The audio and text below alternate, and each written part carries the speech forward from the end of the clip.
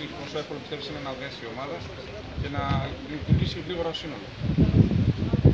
Στην την εμπειρία μου πιστεύω ότι αν υπάρχουν ε, καλά παιδιά, καλοί χαρακτήρες, είναι πάρα πολύ εύκολο να δέσει μια ομάδα. Και αυτό θα, ε, θα γίνει από σήμερα. Και στο πονό πιστεύω ότι σιγά σιγά κάθε μέρα που θα περνάει η ομάδα θα γίνεται οικογένεια.